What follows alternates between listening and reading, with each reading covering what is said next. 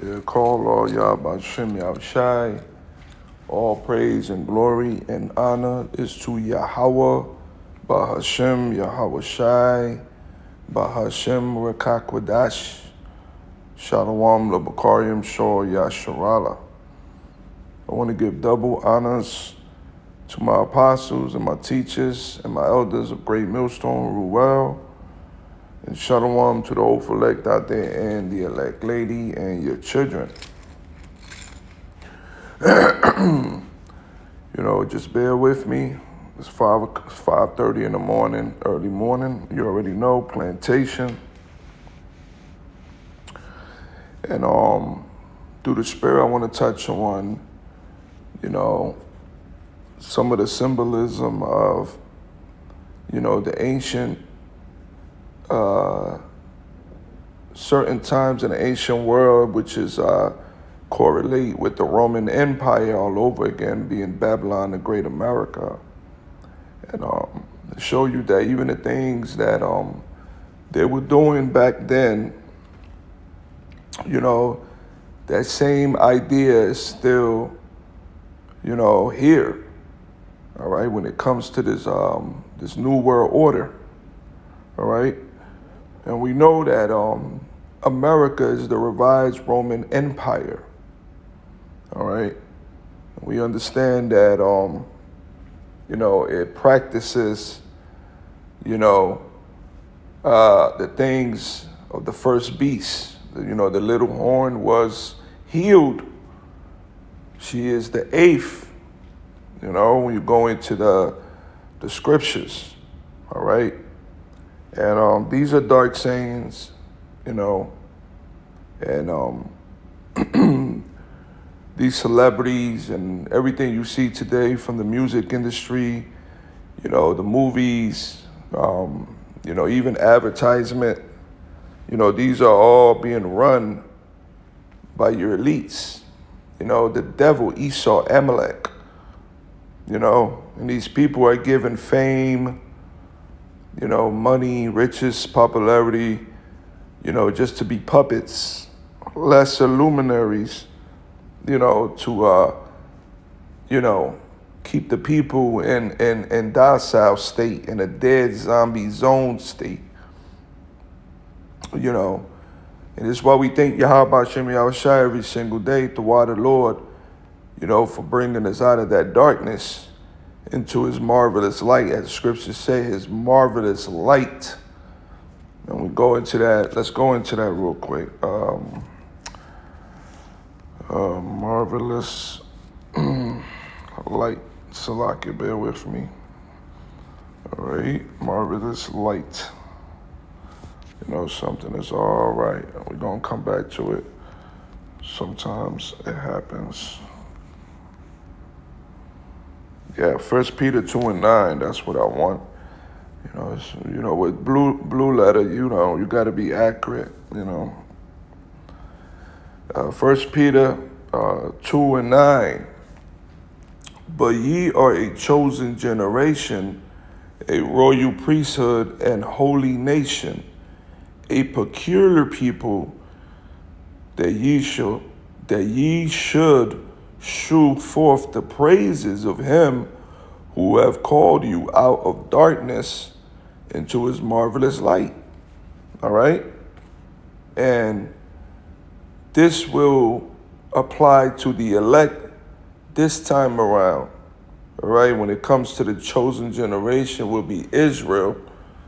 The scripture said in Isaiah chapter 44, Israel, Jacob is his chosen, his servant.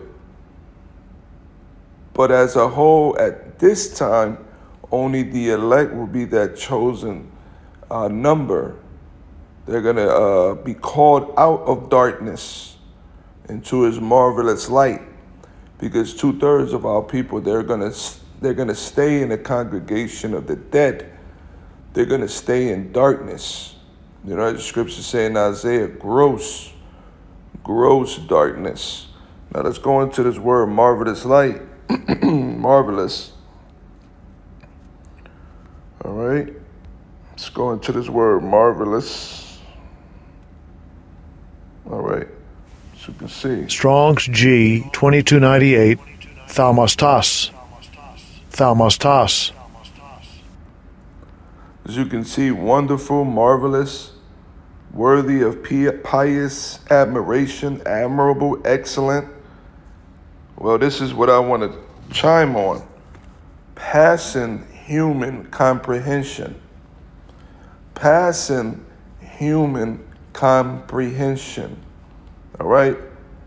See, we've been given the oracles, we've been given the unction from the heavens, and it separates us from your normal human operations when it comes to the mind and the spirit because the gift that we was given comes from the heavens. This is why we speak of heavenly things as the scripture says. All right? Scripture talks about our conversation is in heaven right? Let's go there real quick. Conversation heaven. All right philippians 3 and 20 for our conversation is in heaven, from whence also we look for the Savior, the Lord Hamashiach Yahushai, man. And that's where we're hastening, man. That's what we're longing for. You know, we're craving for the return of our Lord because we know He's going to make all things right, man. All right? Scripture speaks about that. Matter of fact, let's go there real quick. Let's go to Luke. I'm just trying to bring certain scriptures to bring this story alive through the Spirit. All right. So Luke 12. All right. 49. I am come to send fire on the earth. This is Yahweh Shai. And what will I if it be already kindled? And um, the world is in turmoil. The world it's in uproars of the people. Why? Because Esau is in control. But I have a baptism to be baptized with, and how am I straightened till it be accomplished? See? So our Lord is just, He's going to come back and make things right. He's going to come back to establish His throne. He's the one that's going to dethrone the proud princess, Esau, Edom. All right? He is the one that's going to come from the power from the heavens in an angelic force, a power beyond human comprehension. All right? So, as I says, that marvelous light, we've been given that light, passing human comprehension, man. That's why we understand what Esau is about. We know that We've been given the gift to understand that he's the one that's trying to issue and usher in his new world order. And it's nothing different from back in the ancient world when you go to Genesis 10 and 8, and these are the sons of Ham, right? Cush, Mizraim, Canaan, the sons, of Cush, Sheba, right? Now, when you get to verse 8 and 9, it says, And Cush begat Nimrod. Now we go up, Salaka. And Cush begat Nimrod, right? He began to be a mighty one in the earth, all right? And we know that this was the same time, around the same time that, you know, the Tower of Babel was being built. Now, what the Nimrod means, rebellion. See? Rebellion, all right? And this is the same sentiment that Esau is showing right now. Rebellion. He is he is uh he's anti-Hamashiach because he knows that the, our Lord is the one that's coming back to destroy his kingdom.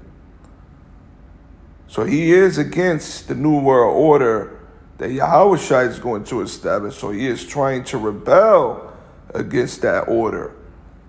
He is trying to rebel against that prophecy, but prophecies will be accomplished. All right?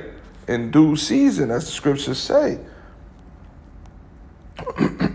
Sirach uh, 39 and 16. All right? All the works of the Lord Yahweh Ba'ashem Yahushai, right, are exceeding good, and whatsoever he commandeth shall be accomplished in due season. All right.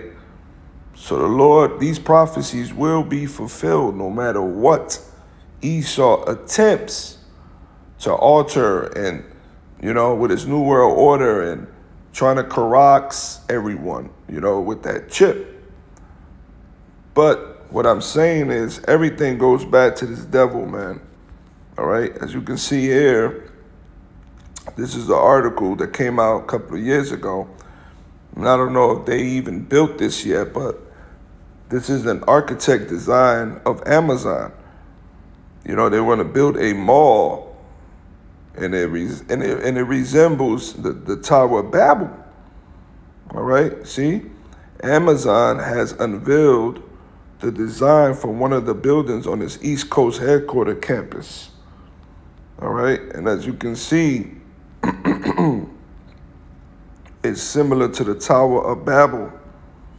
All right, show you that the connection between these ancient civilizations, you know, uh, are being uh, mimicked and run the same matter by Babylon the Great America. Same thing. All right. So when we go into, uh, I, I, said all this, right? I'm gonna get to the point for for Maccabees, first 140. All right. So we could see that, um, you know, the story in the Maccabees, Antiochus plunders the temple in Jerusalem. All right. You see. So in the ancient world during the Greek captivity, this what Antiochus plunders the temple. Scripture speaks about how he desecrated and defiled the temple with swine, you know, had prostitutes and harlots and orgies, you know, uh, being performed in the, in the in the, in the temple. So, you know, and the story goes into how what the Lord uh, struck him, man, with a, an incurable disease, man.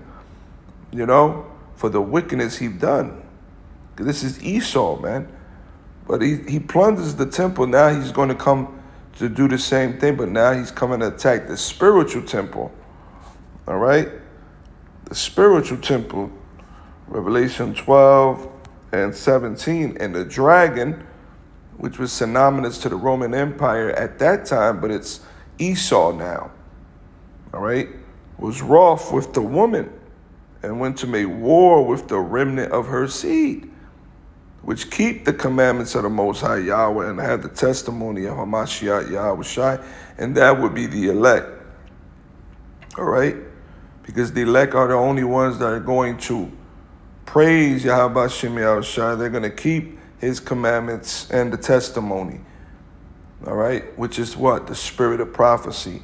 It's what you see the prophets doing, start with apostles on down, you know, speaking, you know, uh, uh, these prophecies to, to life, man. And this is killing Esau. So he's going to come for the, the remnant of her seed. This is the, he's coming for it. All right? So there's no difference today. We're the temple. The temple is being built right now, the Bayaf Dawadah. All right? And I say all this because it is. Let's go back to this video real quick. I want to try to show, I'm going to show you something. All right, listen to A this. sea of red continues to dominate the charts. Bitcoin is trading in the $60,000 range, down 14% in the past seven days. While many pundits and experts are still calling for a crypto summer, columnist and researcher Whitney Webb believes the entire outlook on Bitcoin is going awry. In an interview with TFTC, Whitney discussed her findings, and according to her research, the powers that be plan to crash every currency and turn the whole system into a surveillance state. You hear what that you hear what he said? And um, Whitney Webb, she has a lot of good information. You know, I'm subscribed to uh, about two of her channels. You know, she she goes in. You know, she has a lot of vital information when it comes to the economy. You know, the elites. Uh, and let's go back to what he said. Listen to carefully experts are still calling for a crypto summer, columnist and researcher Whitney Webb believes the entire outlook on Bitcoin is going awry.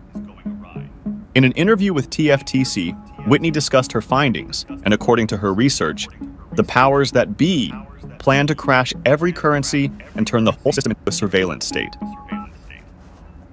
So the elites, which are the powers to be, their whole agenda is to crash all currency on the world and bring in a surveillance system.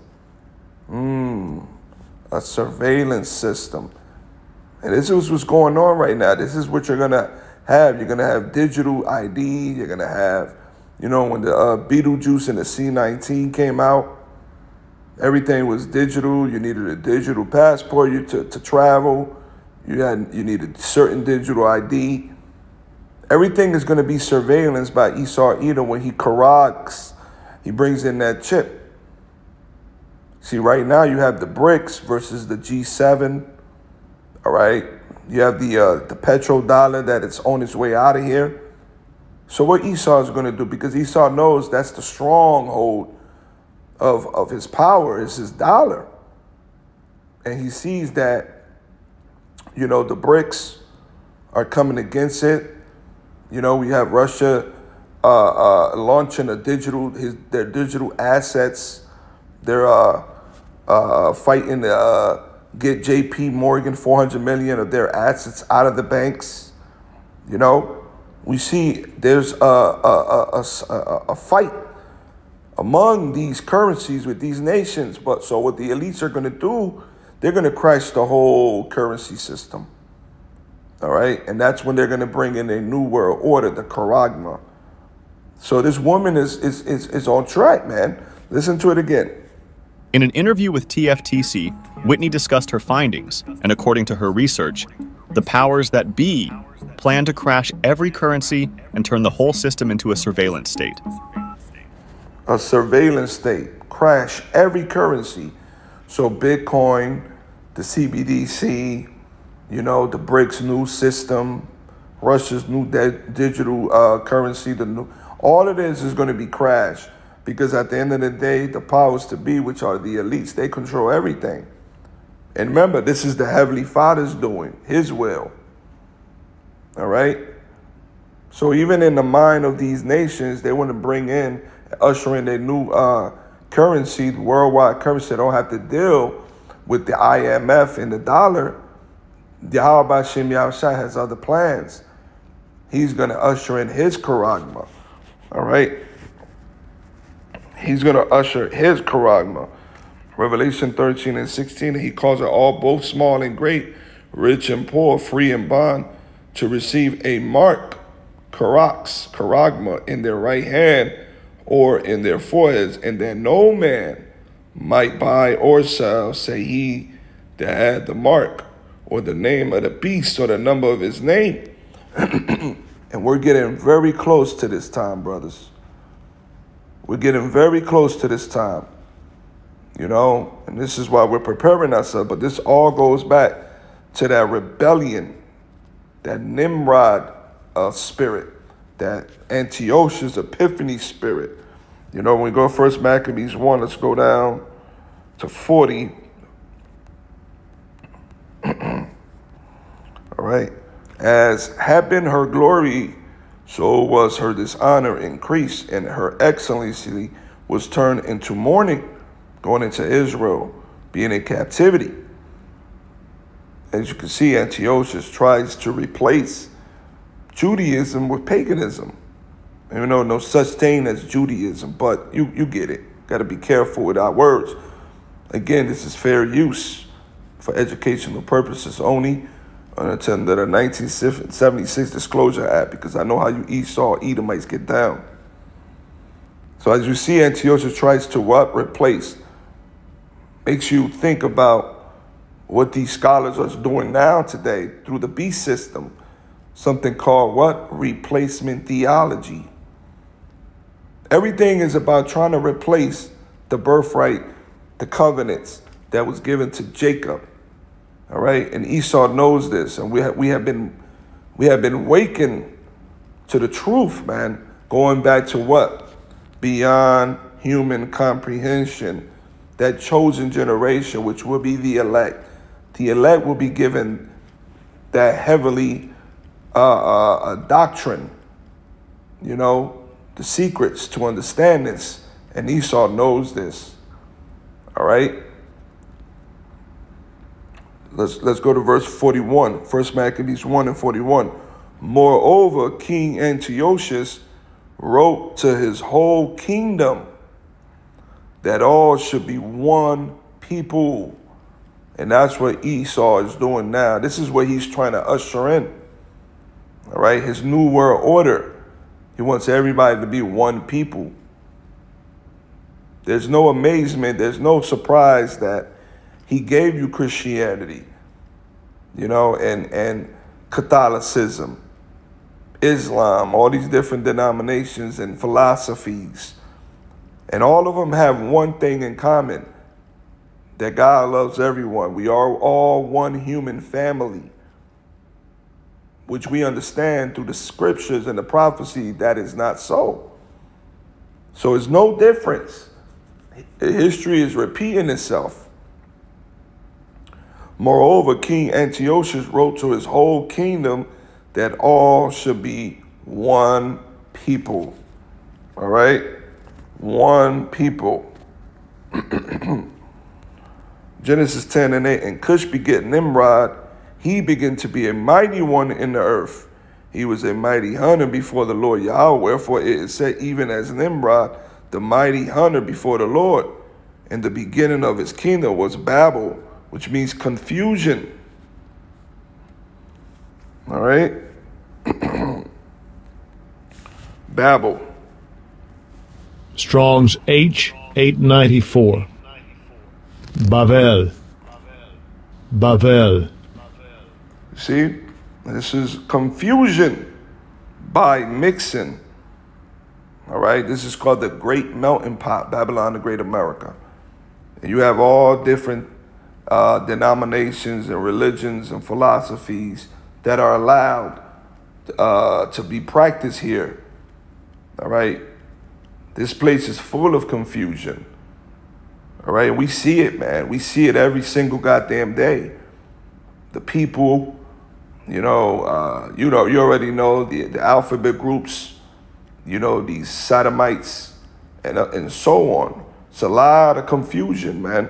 And even within Israel, a lot of you Israelites that claim to be woke, you know, you're you're confused with these different doctrines. You you've been, you know, entangled in that that web, that spider's web of Esau's Edom's beast system. All right. So let's go back. So this was the, the, the beginning of this man's kingdom, you know. But his whole thing was to what? To build. Scriptures say, a universal language Babel, confusion. All right, the whole earth was one language and one speech. All right, whole, the earth, language, one language. All right, one speech. All right. Go into this word. I'm just curious to see what that said. One speech. All right, speech, word, occupation, matter something. Chronicles, commandment, acts. All right, let's go into the Strong's definition. See, we see something here. Okay, one speech. All right, this was what's going on during the time of Nimrod. All right, he uh, uh, uh, and this is what's going on in the earth today with Babylon, the Great America.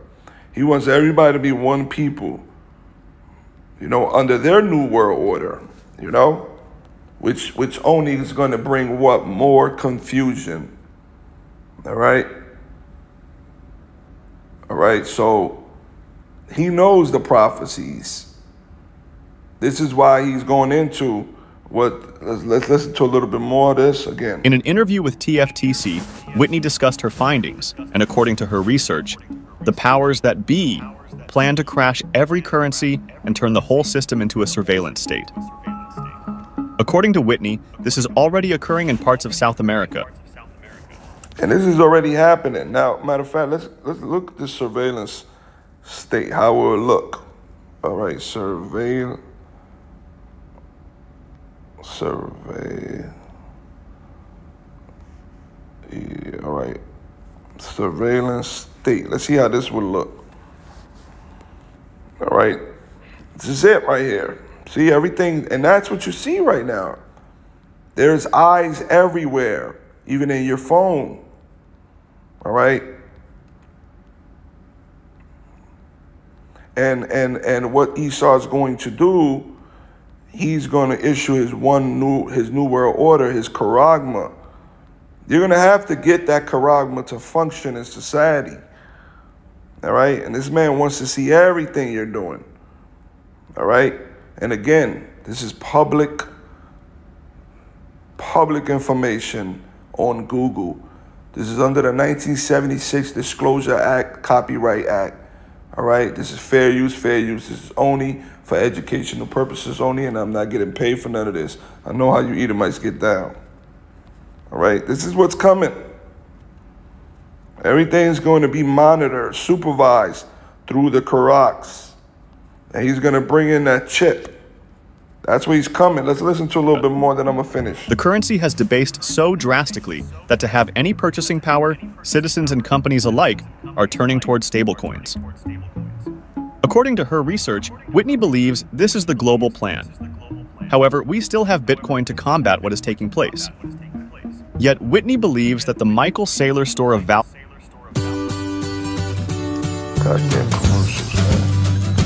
Coinbase. outlook and the general population's Bitcoin go up sentiment is taking away the true value and function of Bitcoin, which is a permissionless interaction between two entities.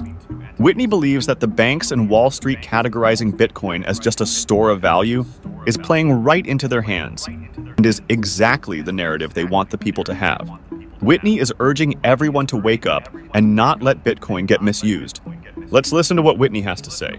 in talking about this public private play it's important to keep in mind that what happens i mean just look at this the treasury secretary office alone so like in clinton it was robert rubin rubin goldman sachs he helps repeal glass-steagall and then when that whole bubble pops in 2008 Goldman Sachs' Henry Paulson is Treasury of the Secretary. Then it's Tim Geithner, who worked under Larry Summers, and Robert Rubin is Treasury Secretary under Obama. And then it's Steve Mnuchin, who was involved in the 2008 financial crisis and who All puppets. dad was one of the top guys at Goldman Sachs, and he was also Goldman Sachs. So, what they do when they're in power is that they create policies that help benefit them. You know, they came from Goldman Sachs with intent. Yeah, let the rich get richer and the poor get poorer. You know, knocking down the middle class. You're either going to be rich or you're going to be wealthy. All right? And we know that these guys like Ja- uh, Jamie Dimon, that owns the CEO, JB Morgan Chase, uh, BlackRock, of uh, um, uh, what, what's his name? Flink, something like that, you know, which, which, which is a, a, a damn little hat, a JJ. All right, you're to find out these are the synagogue of Satan, man. You know? to implement policies that benefit Goldman Sachs, right? And so, generally, what happens is, is that when the private sector wants something or they want, they've created a big market for something, they've invested lots of money in creating something like the carbon market, and no one's using the carbon market. They are going to then use the public sector to force people to use the carbon market. And so they're trying to do that through the un, through the guise of climate emergency, right? And that's not working. So if that's not working, how will they? Yeah, all, all a, a, a, a false propaganda.